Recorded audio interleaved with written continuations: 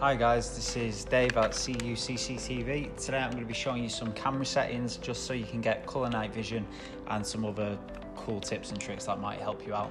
So if you just start by right clicking on your camera that you want to work on, go down to image. We're going to have a look at your, your day night settings. So these different settings here, you've got black and white, which you might want to use for any dark rooms. You might have this in auto, which will automatically distinguish whether it's day or night. Or if you want to have your color night vision on there, the best setting to use would be color. Now, the other cool thing about this camera and DVR is if you install the camera upside down like I have in this case, you can use the and flip to correct anything on there.